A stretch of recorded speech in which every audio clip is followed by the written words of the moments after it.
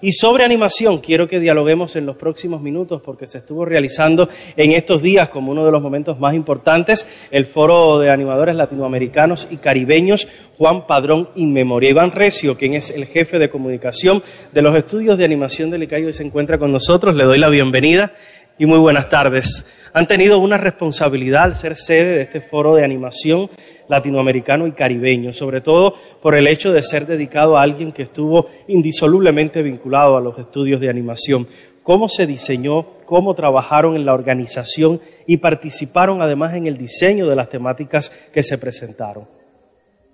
Buenas tardes para usted y felicidades. Se previó, o sea, se organizó en la base de, primero un homenaje a Juan Padrón, como bien habías dicho. Eh, el próximo año, eh, se cumplen cinco años de su desaparición física y es eh, uno de los más grandes creadores que tenemos de animación en, la etapa de, del ICAI, eh, fundacional del ICAI. No es fundador del ICAI, pero sí es en la etapa de mayor creatividad en animación de, que hubo en, el ICAI. Entonces, este, este evento se organizó con la participación de César Cabral, de Koala Filmes de Brasil, eh, Paola Beco, eh, de la directora del Festival eh, de Argentina, y Ernesto Padrón, hermano de Juan Padrón, y también un director de cine de animación de Cuba. Eh, además, contó con la organización de La Manigua, con la, en la persona de Silvia Padrón, hija de Juan Padrón, y bueno, los estudios de animación y el apoyo de la Casa del Festival, que es al final quien organizó el evento. Iván, ¿qué temas se estuvieron discutiendo en este encuentro, en este foro? A ver, el foro se dividió en, dos eh, sesiones importantes. Por la mañana hubo charlas y conferencias eh, a partir de las necesidades eh, de la actividad de la animación, tanto distribución, comercialización, todas las inquietudes que, esta actividad requiere y por la tarde se hicieron las asesorías de proyectos, luego de una convocatoria de, que se presentaron eh, una buena cantidad de proyectos, se escogieron 15 proyectos, se seleccionaron 15 proyectos para brindarles asesoría y luego de eh, escoger tres proyectos ganadores.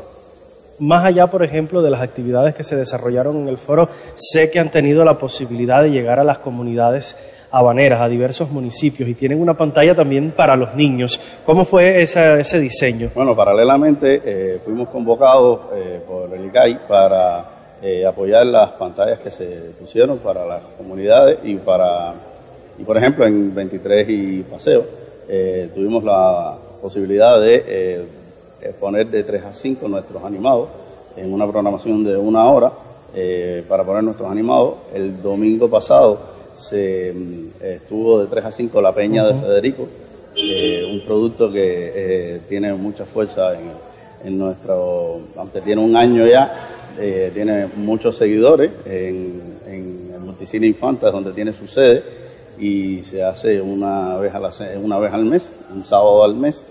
Este próximo sábado es, va a ser el sábado que toca para esto.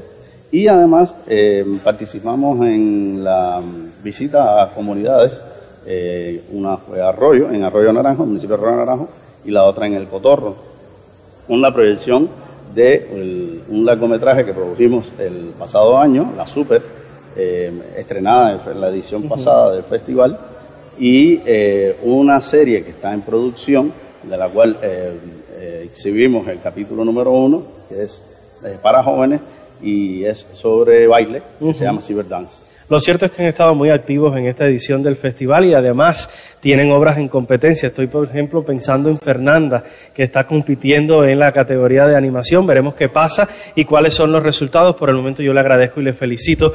Muchas gracias por estar con nosotros en esta señal del Canal Caribe y siempre desde niños, pero también los adultos disfrutamos los resultados del trabajo de los estudios de animación.